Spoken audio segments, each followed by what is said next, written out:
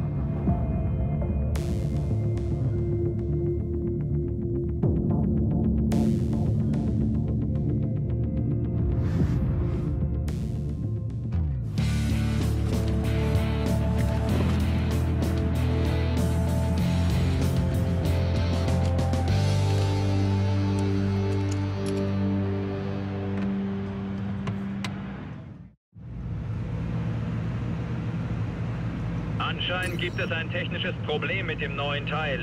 Wir brauchen mehr Zeit, um den Fehler zu beheben. Vermutlich ist das neue Teil im übernächsten Rennen verfügbar.